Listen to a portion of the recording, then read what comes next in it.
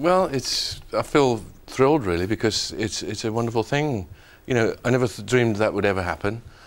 You know, coming fr- growing up in in uh, Shard End in Birmingham, Yes. playing my plastic guitar and then my brown plywood guitar. You know, I never knew that it would lead to all that. You know.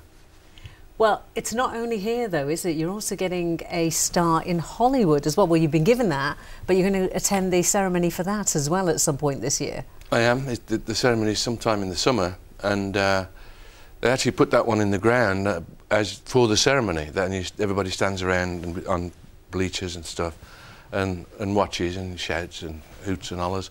But this is so. This will be a much more uh, not like one I've ever seen before. Today will be great because I've never seen the Birmingham version, which will be super. What's it like coming back after all these years? Because you still haven't lost your accent, have you? You're still a No. Brummie. Oh, well, I'm still a Brummie, but uh, you know, it's you don't really lose your accent ever. I don't think. I, I don't know anybody who, who ever. I've no reason to lose it because in California they think I'm posh.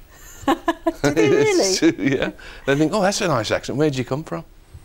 And I tell them, and they, you know, they still don't know how people talk in Birmingham, so they think it's posh.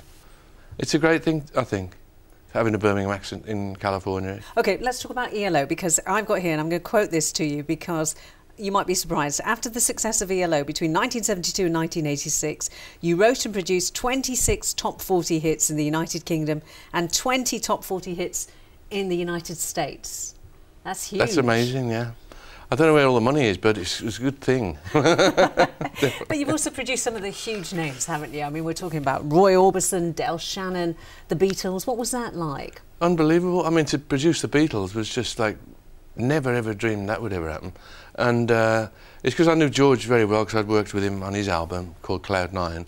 I didn't know Paul that well at the time, but I do now. And and Ringo I knew, for, I'd produced him already as well. And so when we got in the room, they hadn't been in the same room for like 20 years or so. The three of them, actual three of them together at once. And so we, we sat and listened to these tales from of like the Beatles, uh, all the things you ever wanted to know. So I was just thrilled to bits with that.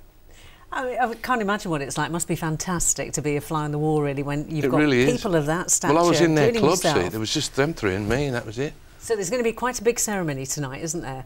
Have you any idea what's planned? Have you been told what to expect? Not really. I've got, I've got a question and answer with, uh, with Jasper Carrott, uh, who, so where he gets to take the Mickey, I suppose. That's the idea, I think. Well, Jeff, we wish you all the best, Thank and you. congratulations again on getting the star. Thank and, you very uh, much. have fun in California too when you get the one in Hollywood. Thank you. Thank you. Very nice. Thank you very much.